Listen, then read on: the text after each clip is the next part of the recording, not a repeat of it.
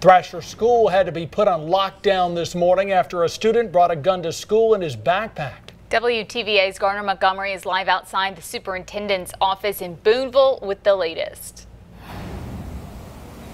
And today I talked with the Prentiss County Sheriff Randy Tolar. He says that that gun the student had in the school was stolen.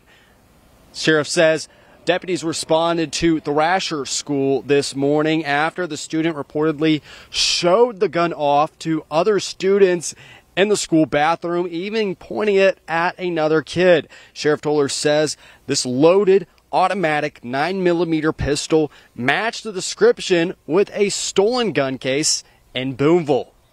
Once we identified the type of gun, we pretty much confirmed that this gun had been a gun that was taken in an auto burglary uh, not too long ago, just here in Booneville, along with another gun which has not been recovered.